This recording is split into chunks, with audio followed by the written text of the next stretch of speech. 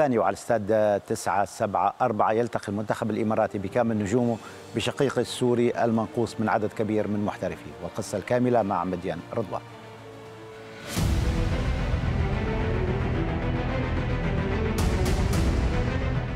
عرس عربي كروي في قطر يحظى برعاية الفيفا. حديثنا عن الإمارات وسوريا في تكرار لمواجهة التصفيات الآسيوية المؤهلة لكأس العالم.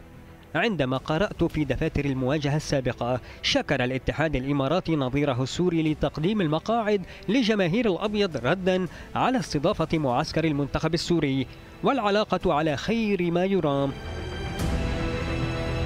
يوم الأحد مدير المنتخب صرح التالي حصريا للصدى.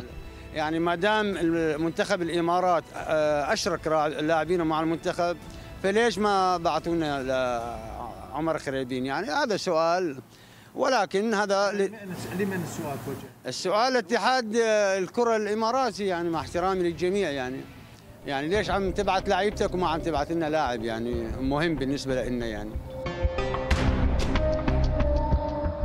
السومة قدم اعتذارا وسأمر على بقية الغيابات لاحقا لكن لو ركزنا قليلا على موضوع عمر خربين فالوحدة الإماراتي أرسل كتابا في وقت أرسل فيه سبعة لاعبين سبعة لاعبين للمنتخب الإماراتي. هم الحارس محمد الشامسي محمود خميس إسماعيل مطر عبد الله حمد محمد برغش خليل إبراهيم وطحنون الزعابي الوحدة ليس لديه مباراة مهمة حتى السادس عشر من شهر ديسمبر المقبل وعلينا إيجاد الإجابة من إدارة المنتخب السوري. لماذا اعتذر؟ لماذا أرسل كتاب خربين؟ لماذا لم يحضر المواس وفهد اليوسف؟ لماذا مردك وعلاء الدالي لم يستطيعا الحضور؟ لماذا غاب إياز عثمان وعبد الرحمن ويس؟ لماذا ولماذا وستة آلاف لماذا أخرى متعبة للسامع من الممكن طرحها؟ أعود للحديث عن المنتخب الإماراتي مارفيك يراهن على خلطة جديدة تجمع بين الخبرة والشباب وعند الخبرة يذكر إسماعيل مطر فهو مستمر بالعطاء. وعلي مبخوت ينظر لتسجيل أرقام جديدة. كايو كانيدو تيغالي علي سالمين شاهين عبد الرحمن الحارس الأمين علي خصيف إضافة إلى أسماء الوحدة المذكورة سابقا. ويغيب فابيو ليما الفنان للإصابة.